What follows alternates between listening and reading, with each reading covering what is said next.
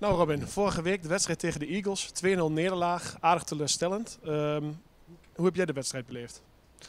Ja, wat je zegt, uh, het was teleurstellend. Ik denk dat dat bij iedereen ook wel zichtbaar was. Uh, het was geen goede wedstrijd. we hebben denk ik te weinig kunnen doen waar we goed in zijn. Uh, of gedaan waar we goed in zijn. waardoor je uiteindelijk 2-0 verliest. En ja, dat is zonde. Dat, was, ja, dat moet beter.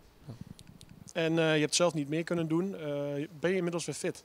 Ik ben weer fit. Ik heb de hele week gelukkig kunnen trainen. Uh, die wedstrijd kwam helaas iets te vroeg voor mij om, om uh, de hele wedstrijd te kunnen spelen. Dus uh, hebben ze ervoor gekozen om, om mij eruit te houden. en ja, ik ben deze week fit, dus daar ben ik blij om. Dan naar deze week, PSV staat op het programma. Hoe hebben jullie getraind?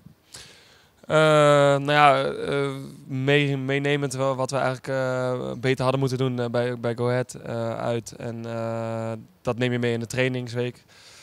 Verder is ben je fysiek bezig en tactisch bezig met, met de volgende wedstrijd. Dus ik denk dat dat dat dat de voornaamste zaken waren waar we mee, mee bezig zijn geweest deze week. En uh, ja, dat uh, ging uh, bij Vlagen goed. en dan staat PSV drie punten boven jullie. Ehm, zie je kansen?